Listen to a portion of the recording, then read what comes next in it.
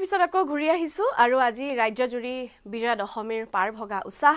বিজয়া দশমীত ৰাজ্যৰ ভিন্ন প্ৰান্তত অনুষ্ঠিত হৈছে প্ৰতিমা বিসৰ্জনৰ পৰ্ব। কাইলৈ পুৱা আঠ ন বাজি আঠ বজালৈ থাকিব দশমীৰ লগ্ন।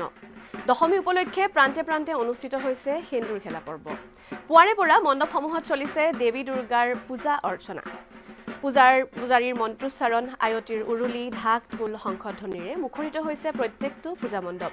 পুৱাৰে পৰা পূজা মণ্ডপত ভিৰ কৰিছেহি ভক্তই। প্ৰতিমা বিসৰ্জনৰ পৰ্বৰ সমান্তৰালকৈ দাহনৰ বাবে সাজু হৈছে সাজু কৰি তোলা হৈছে ৰাৱণৰ বৃহৎ আকাৰৰ প্ৰতিমূৰ্তি।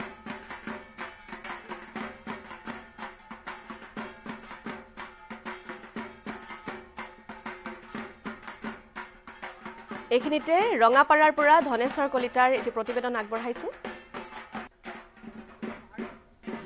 হয় ইতিমধ্যে নৱমীৰ যি পূজা সেই নৱমীৰ পূজা শেষ সমাপ্ত হৈছে আৰু দশমীৰ যি পূজা সেই দশমীৰ পূজা ভাগ চলি থকা দেখিবলৈ পোৱা গৈছে। মোৰ কেমেৰা পাৰ্চনে দেখুৱাইছে এনেদৰে ৰঙাপাৰাৰ যি সমন্বয় সমিতি আছে সেই সমন্বয় সমিতিত এতিয়া এনেদৰে যি দশমী সেই দশমী পূজা ভাগ চলি থকা দেখিবলৈ পোৱা গৈছে আৰু ভক্তপ্ৰাণ ৰাইজ আহিছে। ভক্তপ্ৰাণ ৰাইজে এনেদৰে যি দশমী দশমীৰ পূজা ইয়াত এনেদৰে চলি থকা দেখিবলৈ পোৱা গৈছে আৰু কিছু সময়ৰ পিছতে ইয়াত কিন্তু যি সেন্দুৰ খেল সেই সেন্দুৰ খেলো আৰম্ভ হ'ব মোৰ কেমেৰা পাৰ্চনে দেখুৱাইছে।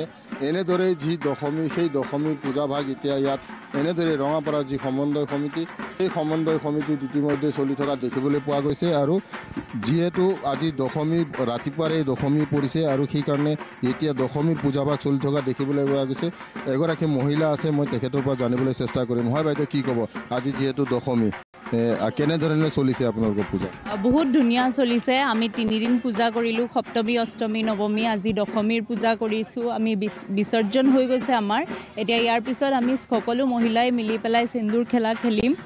আৰু আমাৰ পূজাটো বহুত ধুনীয়া হৈছে। হয় বৰষুণৰ বতৰৰ কাৰণে অকণমান অসুবিধা হৈছে কিন্তু আমাক মা দুৰ্গাই চাইছে যিহেতু। কালি ধুনীয়া হ'ল বতৰটো। আজিও অথনি ৰাতিপুৱা বেলাত বহুত বৰষুণ দিছিলে কিন্তু এতিয়াতো বহুত ধুনীয়া হৈছে বতৰ। আৰু এনেকেই মা দুৰ্গাই আমাক আশীৰ্বাদ কৰি থাকক গোটেই বছৰটো আমাৰ আকৌ অহা বছৰলৈ আহক আমাৰ মাজত। আজি অলপ অন্তৰটো ভাৰীও হৈছে দুখো লাগিছে অলপ কাৰণ যাবগৈ হয় নহয়? এক বছৰৰ কাৰণে এতিয়া অহা বছৰ আহিব।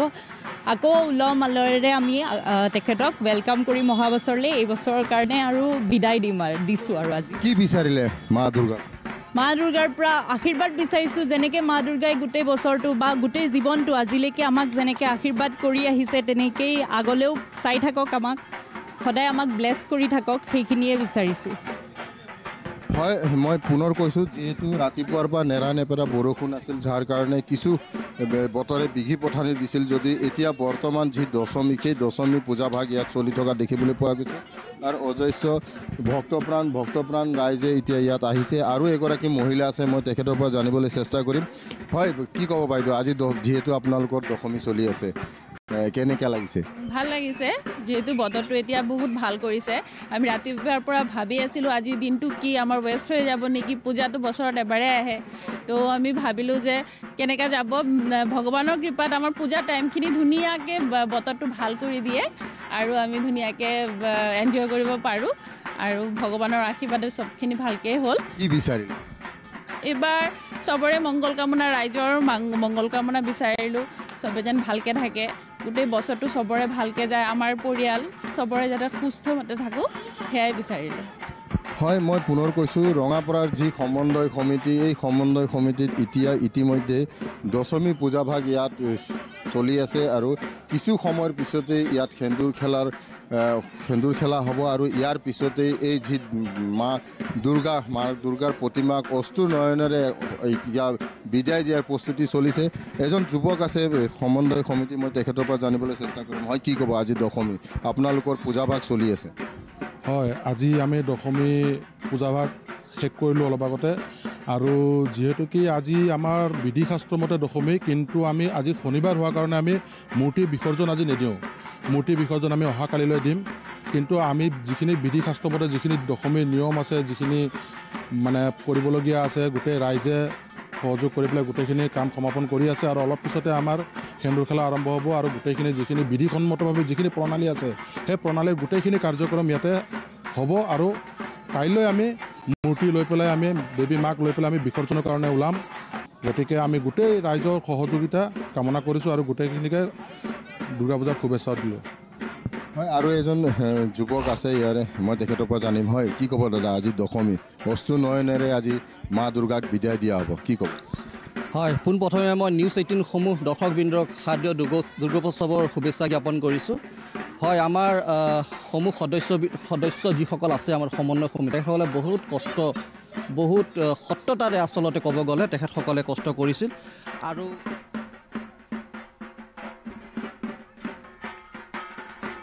সেয়া আছিলে ৰঙাপাৰাৰ পৰা আগবঢ়োৱা প্ৰতিবেদন।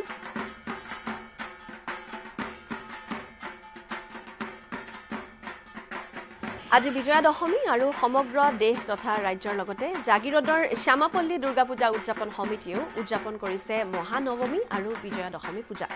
দুৰ্গতিনাশিনী দেৱী দুৰ্গাৰ নৱমী পূজাৰ অন্তত সমাপন কৰা হ'ব দশমী পূজাও। নৱপত্ৰিকা আৰু দৰ্পণ বিসৰ্জনেৰে বিজয়া দশমী সমাপন কৰা হৈছে আৰু তাৰ লগে লগে কাইলৈহে বিসৰ্জন দিয়া হ'ব দেৱী দুৰ্গাৰ মৃন্ময় মূৰ্তিসমূহ।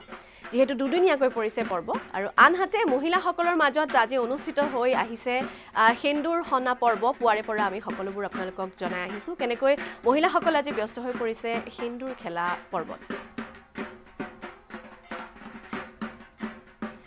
আৰু এইখিনিতে আগবঢ়াইছোঁ অজয় পলৰ এটি প্ৰতিবেদন সাংবাদিক অজয় পলৰ এটি প্ৰতিবেদন আপোনালোকলৈ আগবঢ়াইছোঁ। হয় নিশ্চয়কৈ শাৰদীয় দুৰ্গোৎসৱৰ আজি মহানৱমী আৰু একেলগে আজি বিজয়া দশমীও আৰু মই বৰ্তমান উপস্থিত আছোঁ জাগিৰোডৰ যি শ্যামাপল্লী দুৰ্গা পূজা উদযাপন সমিতিত আৰু এই দুৰ্গা পূজা উদযাপন সমিতিত দেখা গৈছে।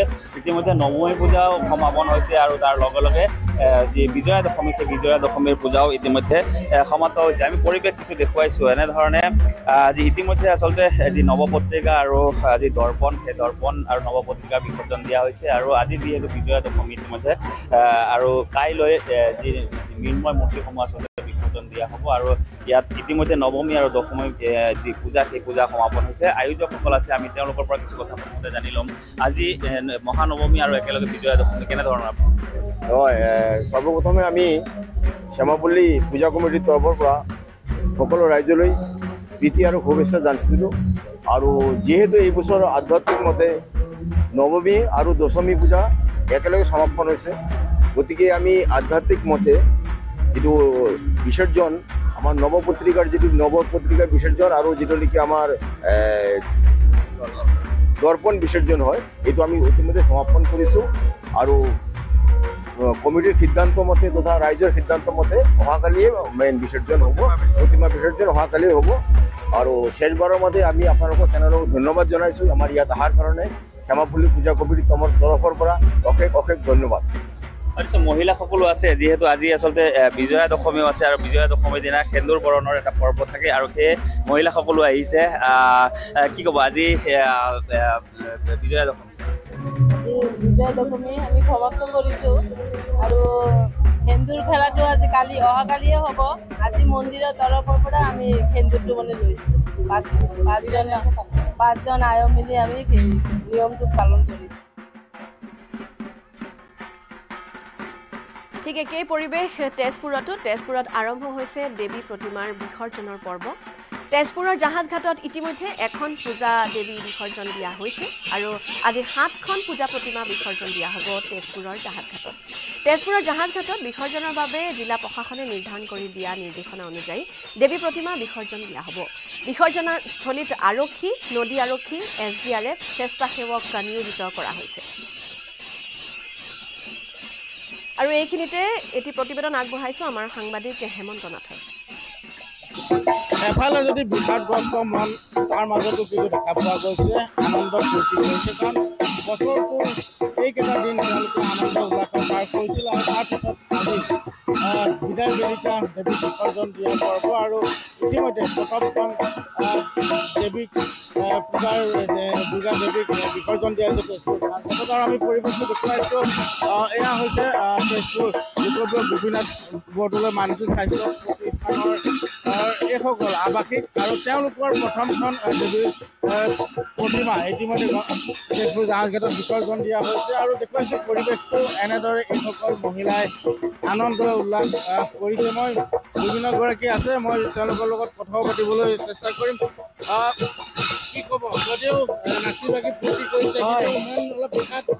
সেইটো হয়। মানে কি নাৰীৰ যেতিয়া এই মানে অসমত যিবোৰ হৈ আছে নাৰীৰ কাৰণে সেইখিনি যাতে মায়ে দুৰ্গা মায়ে গোটেই লৈ যায়গৈ শংখ চক্ৰ গদা পদ্মধৰি লৈ যায় মায়ে সেয়াই মোৰ আশীৰ্বাদ। এইটোৱে ক'ম যে দুৰ্গা মা আজি গৈছেগৈ সেইকাৰণে অলপ মনটো বেয়া লাগি আছে। বাকী আমি এই গোটেইকেইদিন ভালকৈ এনজয় কৰিলোঁ। Happy Durga Puja two every one আহ, পূজা ক'ত ক'ত চালে এতিয়া? এইবাৰ চালোঁ। মানে দুৰ্গাবাৰী চালোঁ আৰু আমাৰ আৰু বৌ বজাৰ। আৰু গোটেই তেজপুৰখন ঘূৰিলোঁ আৰু। আহ, দেখা পোৱা গৈছে এনেদৰে এতিয়া আজিৰ এই যি বিসৰ্জন আৰু আমি উল্লেখ কৰিম শোণিতপুৰ জিলা প্ৰশাসনে এইবেলি এশ এখন দুৰ্গা পূজাৰ বাবে অনুমতি প্ৰদান কৰিছিল আৰু ইয়াৰে আজিৰ দিনটোত সাতখন দুৰ্গা পূজা দেৱীক বিসৰ্জন দিয়া হ'ব আৰু ইতিমধ্যে প্ৰথমখন পূজাৰ দেৱী দুৰ্গাক বিসৰ্জন দিয়া হৈছে আৰু এইসকল লোক তেওঁলোকে বিসৰ্জন পৰ্বত অংশগ্ৰহণ কৰিবলৈ আহিছে। মনত যদিও দুখ তথাপিও কিন্তু তেওঁলোকে ভাৰাক্ৰান্ত মন এটা লৈ আনন্দ উল্লাস কৰা পৰিলক্ষিত নিশ্চয় বহুত উল্লাসৰ মাজতো ক'ৰবাত সেমেকা মন আৰু এইখিনিতে গহপুৰৰ পৰা পলাশ ফুকন আমাৰ সাংবাদিক পলাশ ফুকনৰ এইটো প্ৰতিবেদন আপোনালোকে আপোনালোকলৈ আগবঢ়াইছোঁ। তাত কেনেধৰণৰ পৰিস্থিতি আপোনালোকক দেখুৱাব বিচাৰিছোঁ। বাকৰি দলনি সাৰ্বজনীন দুৰ্গোৎসৱ সমিতিয়ে এক সুন্দৰ পদক্ষেপ গ্ৰহণ কৰিছে। এই বাকৰি দলনি অঞ্চলৰ যিসকল বয়োজ্যেষ্ঠ ব্যক্তি আছে তেওঁলোকক সম্বৰ্ধনা কাৰ্যসূচী ৰূপায়ণ কৰিছে। মোৰ কেমেৰা সহযোগী দেখাব এইসকল হৈছে বয়োজ্যেষ্ঠ পুৰুষ মহিলা আৰু সকলোকে দুৰ্গা পূজা সমিতিৰ তৰফৰ পৰা এক সুন্দৰ পদক্ষেপ গ্ৰহণ কৰি প্ৰত্যেকগৰাকীকে তেওঁলোকে আদৰণি জনাইছে। কাৰণ বহু বয়স হৈছে আশী ঊৰ্ধৰ সকলো ব্যক্তি আৰু তেওঁলোকক এক সুন্দৰ পদক্ষেপ গ্ৰহণ কৰি এনেদৰে তেওঁলোকে সম্বৰ্ধনা জ্ঞাপন কৰিছে। মই পোনে পোনে আপোনাৰ ওচৰলৈ আহিছোঁ। যিহেতু বাকৰি দলনি দুৰ্গোৎসৱ সমিতি যি আছে এই বয়োজ্যেষ্ঠ লোকসকলক সম্বৰ্ধনা জনাইছে। গতিকে কেনেকৈ মনলৈ ভাৱ আহিল যে এইসকল ব্যক্তিক সম্বৰ্ধনা জনাওঁ? আমি এই স্থানতে বছৰি দুৰ্গা পূজা অনুষ্ঠিত কৰি আহিছোঁ। আৰু আমাৰ সমাজত বিভিন্ন জ্যেষ্ঠজনসকলৰ সমাজৰ প্ৰতি যথেষ্ট অৰিহণা আছে। গতিকে সেই অৰিহণাৰ স্বীকৃতি স্বৰূপে আমি বয়োজ্যেষ্ঠসকলক সন্মান জনাবৰ বাবে আজি এই অনুষ্ঠানটো পাতিছোঁ। গতিকে আমি আশা ৰাখিছোঁ আগন্তুক আমাৰ বৰ্ষটো যাতে আমি এনেধৰণে অনুষ্ঠানসমূহৰ জৰিয়তে আমাৰ জ্যেষ্ঠসকলক আমি সন্মান দিব পাৰোঁ। নিশ্চয়কৈ এইসকল বয়োজ্যেষ্ঠ ব্যক্তিৰ সমাজ জীৱনত যথেষ্ট তেওঁলোকৰ অৱদান আছে বৰঙণি আছে আৰু তাৰ স্বীকৃতি হিচাপে এয়া তেওঁলোকক সন্মান জ্ঞাপন কৰিছে। মই আপোনাৰ ওচৰলৈ আহিছোঁ অকণমান আগবাঢ়ি আহিব। আহ, এক সুন্দৰ পদক্ষেপ গ্ৰহণ কৰিছে বিশেষকৈ দুৰ্গা পূজাত। দুৰ্গা পূজাত এনেধৰণৰ খুব কম দেখা যায় গতিকে আপোনালোকে গ্ৰহণ কৰিছে কি ক'ম আমি যি যিসকল ব্যক্তিত্বক অগ্ৰজসকলে আমাক যিটো প্ৰেৰণা দি গ'ল যেন ৰাস্তা দিক দিগদৰ্শক হ'ল তেখেতসকল আমাৰ দিগদৰ্শক আমি যদি তেখেতসকলৰ অনুপ্ৰেৰণা আজি তেখেতসকলৰ সমাজৰ প্ৰতি যদি ত্যাগ নথকাহেঁতেন আজি এনে এটা পৰ্যায় আমি নাপালোহেঁতেন।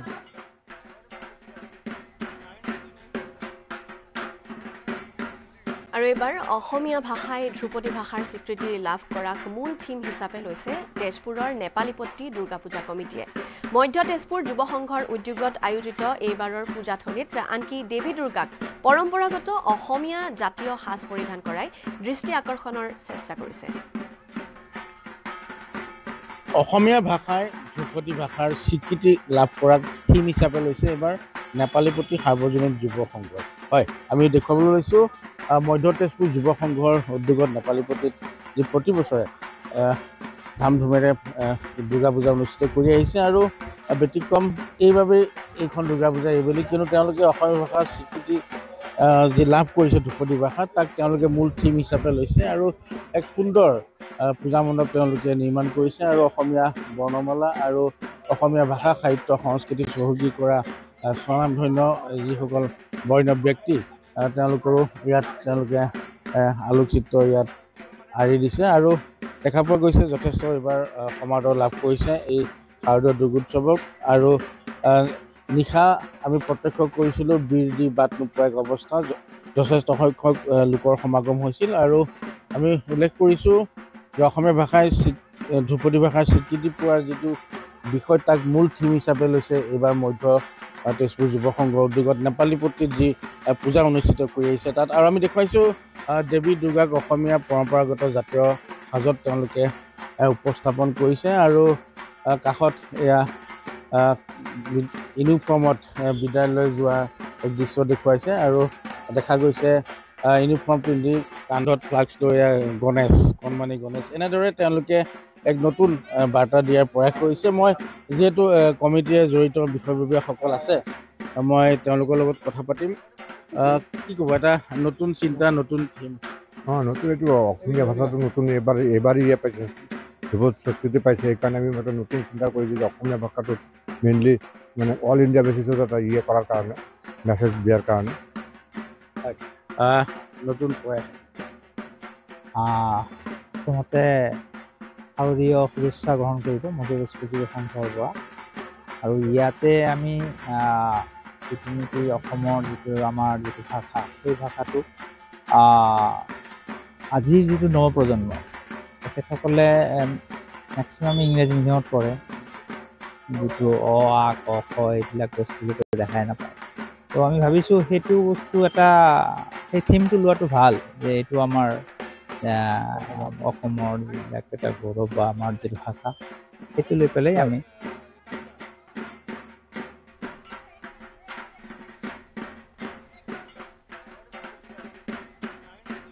আপোনালোকক দেখুৱাই আছোঁ তেজপুৰৰ দৃশ্যাৱলী। আজি তাত কেনেধৰণৰ পৰিৱেশ যিহেতু আজি তাত দুৰ্গা পূজা অনুষ্ঠিত হৈ আছে তাতো আজি নৱমী দশমীৰ একেদিনাই পৰ্ব পৰিছে। গতিকে তাত কেনেধৰণৰ পৰিৱেশ যিসমূহ পূজা মণ্ডপ তাত কেনেধৰণে সকলোবোৰ সকলোবোৰ ভক্ত এতিয়া ভিৰ কৰিছেহি মাত্ৰ আৰু কেইটামান মুহূৰ্ত দেৱী দুৰ্গাৰ সৈতে তেওঁলোকে কটাব পাৰিব পূজা অৰ্চনা কৰিব পাৰিব আৰু বহুত উৎসাহৰ মাজতো আচলতে ক'ৰবাত অশ্ৰুসিক্ত নয়ন। আৰু ক'ৰবাত সকলোৰে হৃদয়বোৰ আজি বহুত গধুৰ হৈ আছে যিহেতু বিদায় জনাব লাগিব দেৱী দুৰ্গাক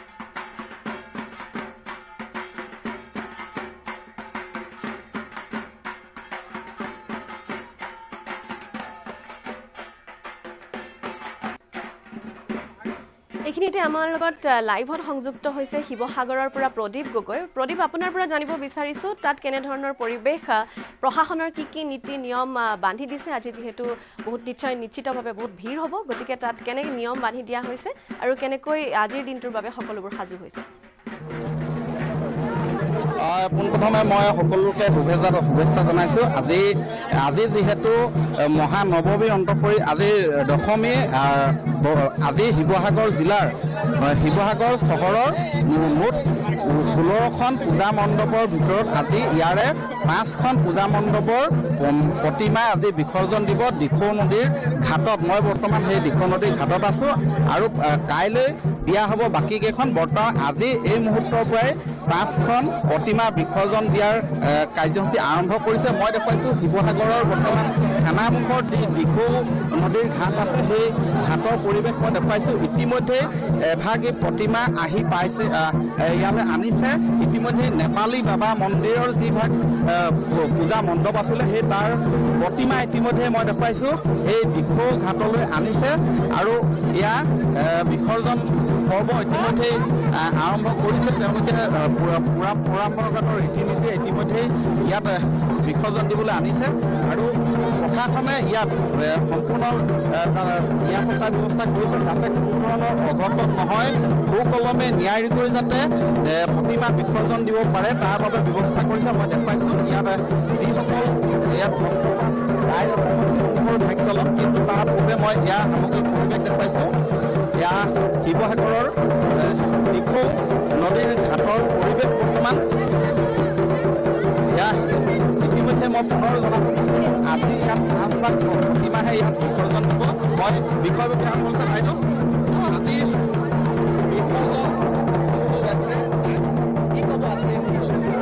আজি? এটা বৰ আৱেগিক মুহূৰ্ত। আমি আজি মাক বিদায় দিম।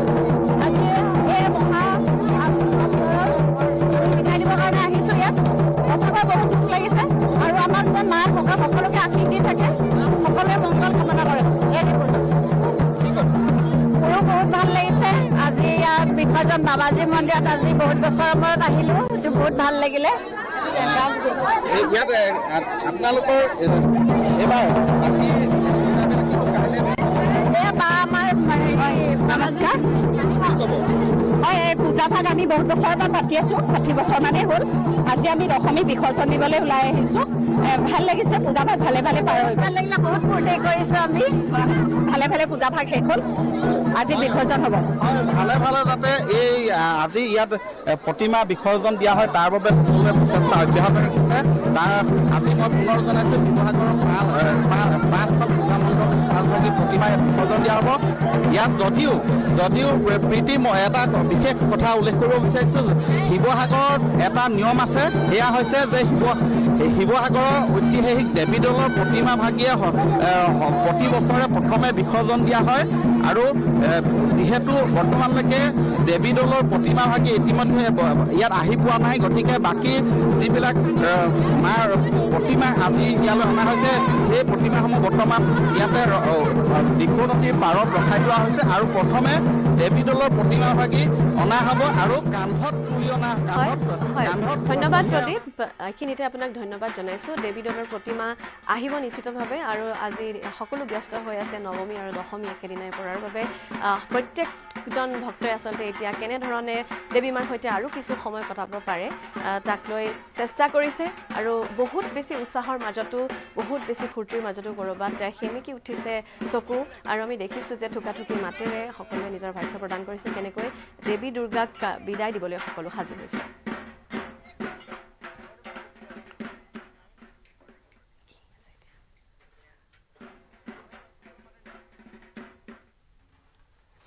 আৰু এইখিনিতে বাতৰিৰ পৰা বিদায় লৈছোঁ।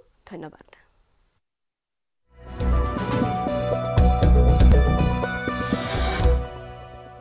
সৰ্বোত্তম টি এম টি লগা এইটো মাইথান ষ্টিল নহয়। সস্তা হয় বছ। ষ্ট্ৰং মানে মাইথান ষ্টিল